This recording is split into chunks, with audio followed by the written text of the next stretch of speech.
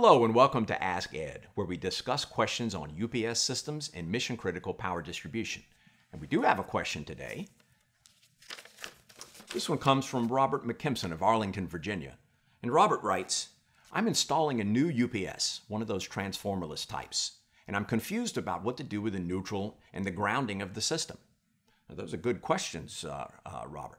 Uh, first of all, in the old days, we always bonded the neutral to ground in the UPS because that's the way it was always done.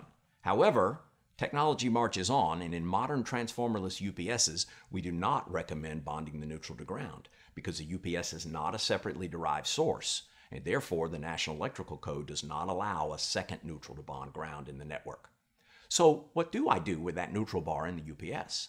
Well, we ask the question is the UPS supporting phase to neutral loads right at its output terminals? In other words, on a 208 volt system, am I supporting 120 volt loads?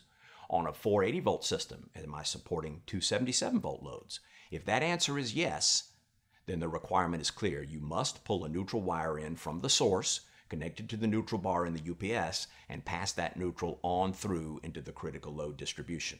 Do not bond the neutral bar to ground in the UPS. On the other hand, if it's a three wire system, no phase to neutral loads, what do I do then? Well, then you have a choice. You can pull a neutral in from the source if you'd like for a reference. You don't have to, but you can.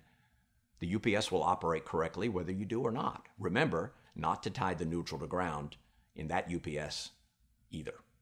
So, hopefully, this provides a little more clarification on neutral handling and grounding of transformerless UPSs. If you have your own question about UPS, contact us here at Ask Ed. And if we use your question on the air, we will send you a shiny new, a shiny Eaton coffee mug.